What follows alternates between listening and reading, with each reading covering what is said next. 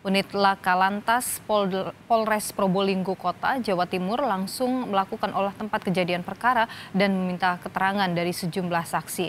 Dari hasil olah TKP dan keterangan sejumlah saksi, korban terjatuh setelah sepeda motor yang dikendarai oleh suaminya terpleset karena melintas di aspal yang bercampur pasir. Korban yang terjatuh ke sebelah kanan langsung terlindas truk yang melintas. Sementara suami dan juga anak korban selamat. Guna kepentingan penyelidikan, sopir truk box dibawa unit Satlantas Polres Probolinggo Kota. Sementara jenazah korban dibawa ke rumah sakit untuk diotopsi. Di kejadiannya untuk informasi yang kita dapatkan sementara untuk truknya itu berjalan dari arah barat ke timur.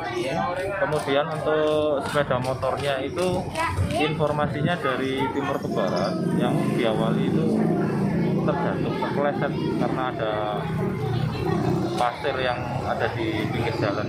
Akhirnya mengenai dari sisi sebelah kanan dari truk tersebut.